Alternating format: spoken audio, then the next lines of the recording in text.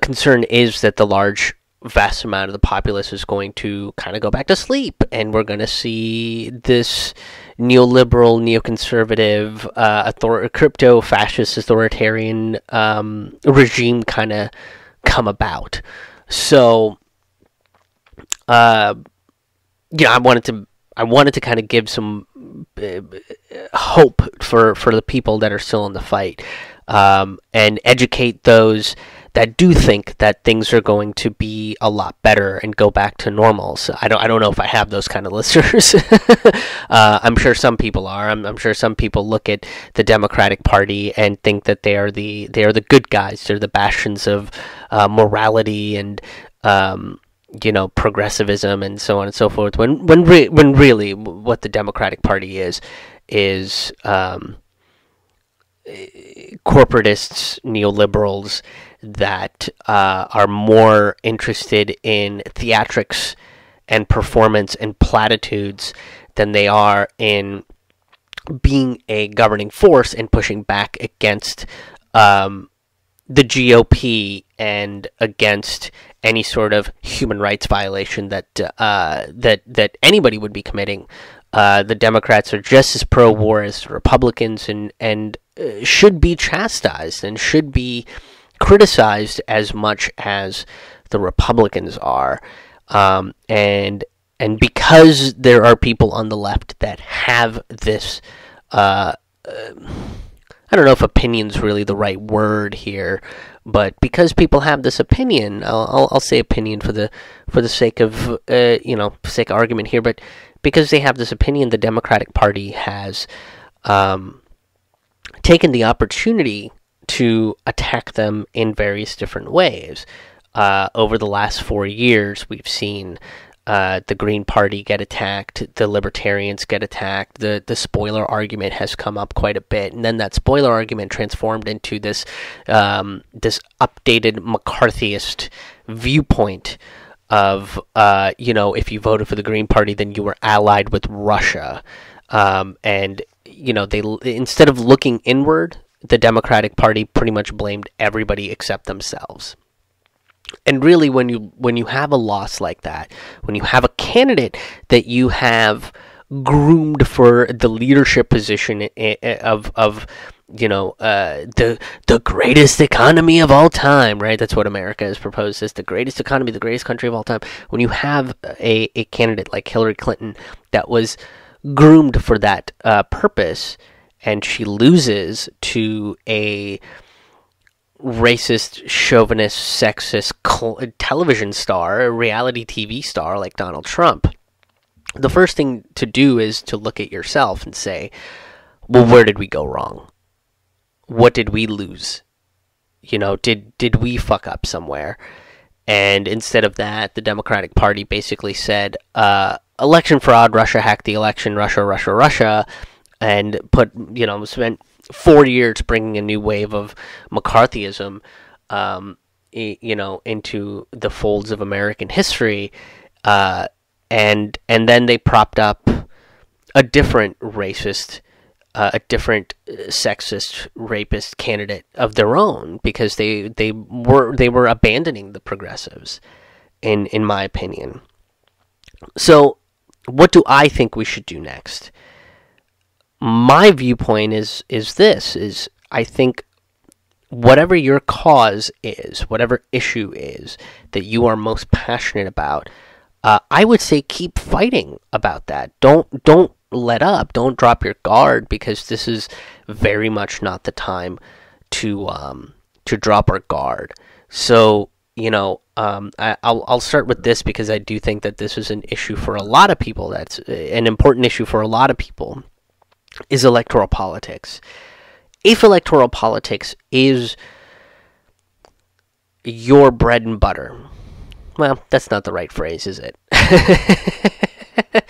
if electoral politics is the most important thing to you, um, then I think what you should be doing is, first of all, pushing for more parties. You should be advocating for the Green Party to be on all 50 states, on the ballot for all 50 states. They should be allowed to run in Senate races. They should be allowed to advertise on television. There shouldn't be um, financial blockades to the Greens or, or, the Libertarians or the Movement for a People Party or the U- Unity Party or the Social Alternative Socialist Alternative Party. They should all be able to be on the forefront.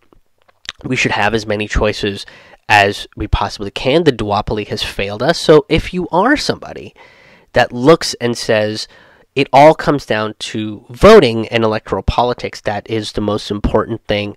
Uh, that is the greatest of all civic duties. Then, yeah, you should be you should be fighting for more parties to be included on the ballot. That the diversity of thought doesn't end with Republican and Democrat.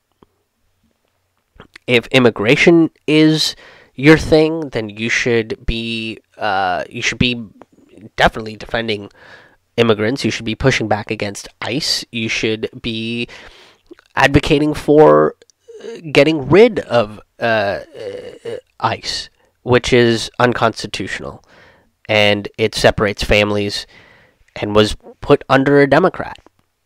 If you know uh, the drug war is your thing, then uh, you know the, you, you you probably also um, have criminal justice as as as a uh, uh center point of your issues, right? The central focus of your issues. If if the legalization of, of marijuana, the legalization of certain psychedelics, that is a core issue for you, then I'm sure criminal justice plays into that as well, uh, considering the prison industrial complex puts nonviolent offenders behind bars as much as it does violent offenders. And um, not just that, but there is also a major racial divide uh, within within the drug war, and that's been proven as as John Ehrlichman basically said. Uh, that's exactly what we did. We wanted to destabilize the black community and the anti-war community. So we we created this war on drugs and associated uh, you know, um, weed with the hippies and heroin with the blacks so that we could go destabilize their communities. And he said that shit to a reporter on tape, proving once and for all that the Nixon administration really didn't understand tapes. But if but if that is your uh, your your central focus, then you should be talking about criminal reform, criminal justice reform. Defunding the police should be um, should be something that you should talk about. You should be looking at someone like Joe Biden and saying, why aren't you defunding the police? Why aren't you listening to the uh, majority of Americans? You want you want your cabinet to look like America, but you don't want it to represent America, because most Americans, white, black, brown, Asian, Latino, men, women, trans, binary, gender binary, LGBTQ, they all would agree that the prison industrial complex has gone too far, that the militarized police it, it has gotten uh, completely out of hand in this country. And yet, Joe Biden looks at it and says, well, we need to give them more money for training purposes. Well, they have a shit ton of money. Why can't they allocate some of their shit ton of money instead of buying a tank or a sound cannon or a water cannon into de escalation tactics or better training procedures or hiring a psychologist or a sociologist that knows how to deal with mental illness. These are things that I think we should be advocating for based on what we believe is our central issue. I don't know if I have a central issue, to be honest.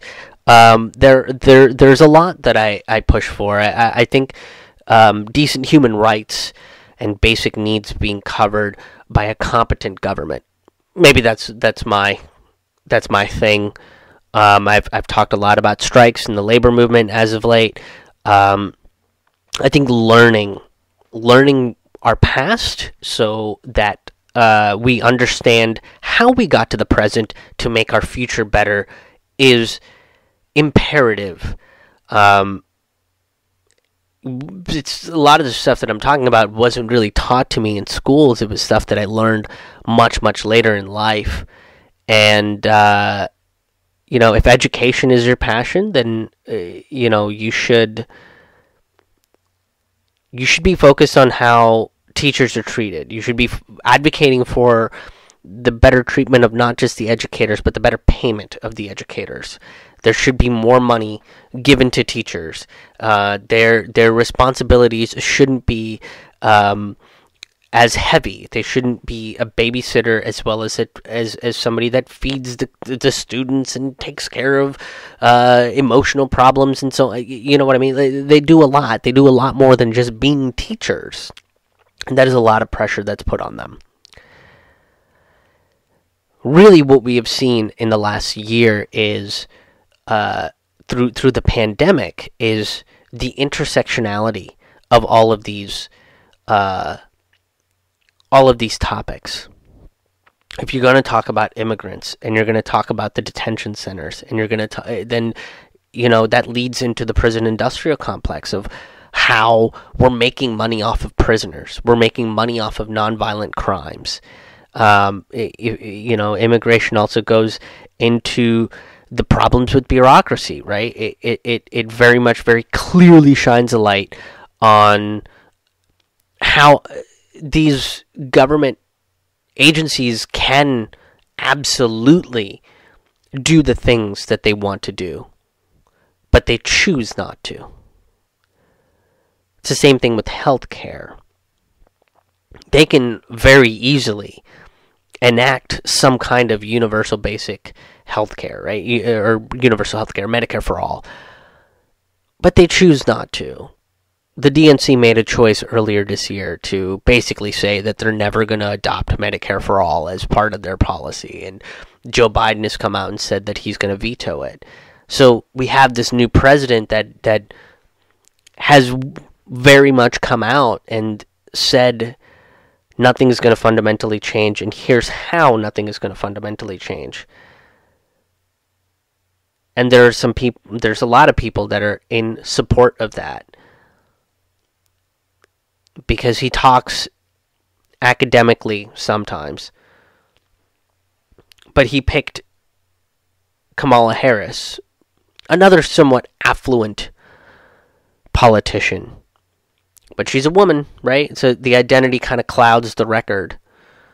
And when you bring up the record of these people, if it's someone like Joe Biden, the notion that they're just not some uh, a, a, a narcissist like Donald Trump clouds the record. With Kamala Harris, it's the identity that clouds her awful record of imprisoning parents and so on and so forth this is not the time to go back to complacency. Complacency is why we got a Donald Trump.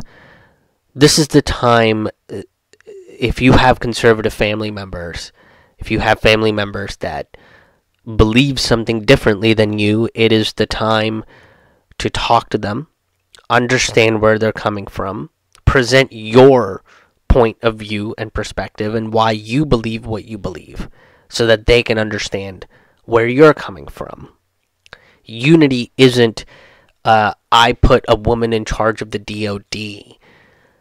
Uh, I put a, a, a black woman in charge of uh, the the federal budgets. who cares if that if that person is still going to spend more money on wars than they are on uh, getting people health care and getting people food, then you're no better than the demagogue that was in office for, for four years. It's a difficult line to see for certain people because they are they were just couldn't fathom that someone like Donald Trump would ever uh, be elected in America. And part of that is because I think that's part of the left believing in that nationalistic rhetoric that America is the greatest country on the planet. We elected our first black president. We're the greatest country on the planet. We overcame our, our, our race issues with Barack Obama. No, we didn't. Let's not kid ourselves. If we really did, we wouldn't have gotten a Donald Trump you just kind of ignored that you had race problems because we got someone like Barack Obama. I know I went off a little bit on a tangent. uh, there, but um, it is it is how those things are connected. You need to learn the history. You need to know the truth behind these people. You know, Obama didn't get rid of racism, and he wasn't hoping change. He was very much the status quo, and he and the, the only difference again is that he was an attractive face in the status quo. So because he was attractive, because he was the first black president, he got a pass on a lot of things. And if you're going to be the leader of a country that values democracy so much, then we don't give a pass that way. We have to be vigilant. We have to be critical and we have to push back on them. And we're never going to push back on them if we choose complacency and we choose brunch.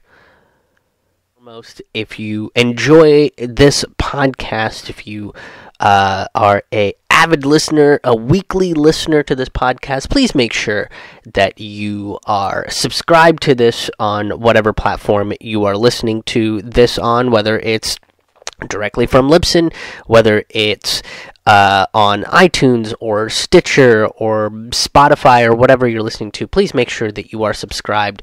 Uh, and uh, if you are subscribed, please make sure that you share this content out because content like this often gets suppressed by big mainstream uh, corporate tech companies, um, YouTube and Facebook usually throttle the content that I put out there.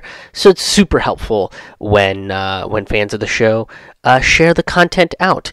And uh, one more thing is is that this podcast is now available on Rokfin as well. So go to rokfin.com slash krishmohanhaha um, and you can check out the podcast there.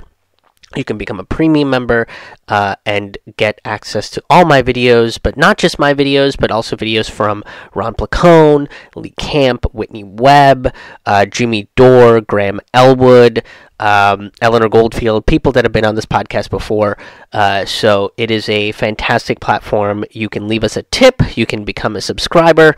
Uh, really, the big focus of there is uncensored content and to ensure that uh, content creators get paid for the work that they do.